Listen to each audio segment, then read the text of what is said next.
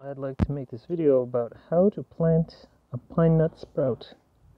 Here you can see this is a pine nut and uh, if you look carefully you will notice there's a bend here.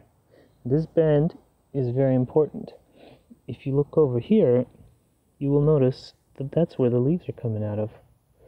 So over here you can see that the leaves come out of the seed and now this seed, uh, it wasn't buried deep enough into the soil, so it came out, and that's causing uh, this particular seedling some stress.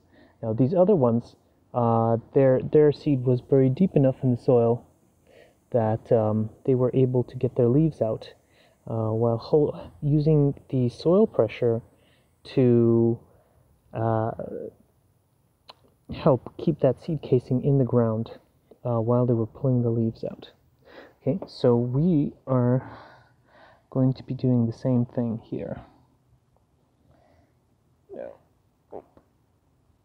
There we go.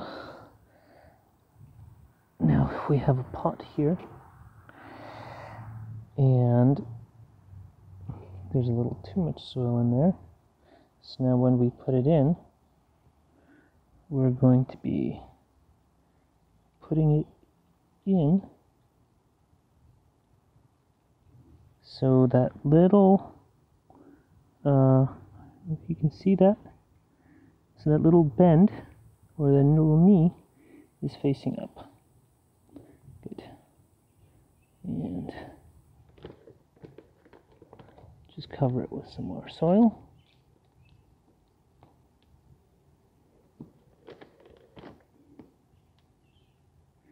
Very good. And now we can place it into the form. So this pot is made of a thin fabric that uh, you don't have to take off after you pull it out. Now if you'll notice, there, it's all the way in. These ones are this is their they're a year old, whereas those sprouts are uh, from seeds that are from last year. These are from two years ago. See that they're they're they're quite a bit bigger now. And uh, another thing with uh, you don't want to overwater um, pine nuts. They like well drained soil, so you can't have waterlogged soil. Um, so I do bottom watering. Um, keep it nice bottom watered. And uh, only do the top watering kind of uh, occasionally and for the young seeds because the young seeds may not have roots that go all the way to the bottom.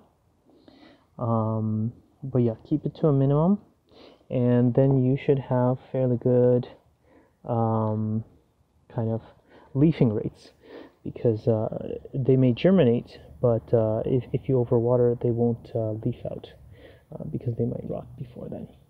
And you know, have good air, air circulation in your greenhouse to uh, you know keep the fungus down. All right, okay, that concludes this little pine nut demonstration. Uh, like and subscribe. Have a good time.